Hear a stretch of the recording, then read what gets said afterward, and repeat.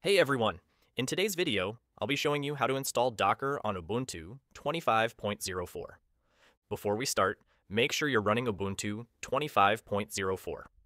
To check your version, open the terminal and run this command.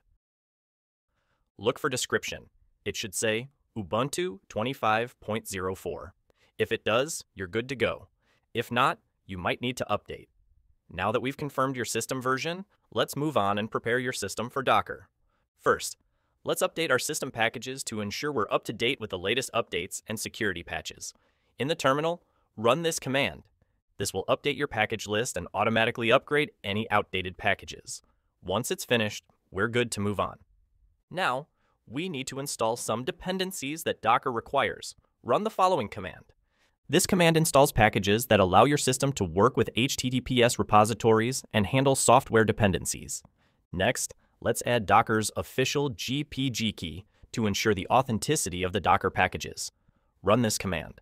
This step is crucial for security as it verifies the integrity of the packages we'll be installing. Now, let's add the Docker repository to your system.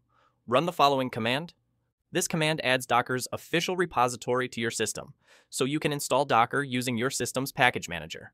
Now that everything is set up, let's install Docker itself. Run the following command. This command installs Docker, the Docker CLI, and Containerd, which is the container runtime Docker uses.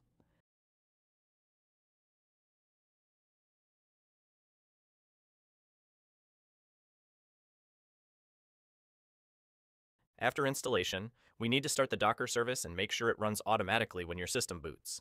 Run these commands. This will start Docker and enable it to automatically start every time your system boots up. To verify that Docker was installed correctly, you can run the following command to check the Docker version. This should display the installed Docker version, confirming that everything worked properly. Finally, let's run a test container to ensure Docker is working. Run this command to download and run a test container. This command will download a test image from Docker Hub and run it. As we can see, the image is pulled and the container runs.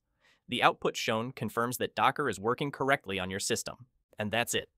You've successfully installed Docker on Ubuntu 25.04. If you found this tutorial helpful, don't forget to like, comment, and subscribe for more tech tips and tutorials. Happy coding, and I'll see you in the next one.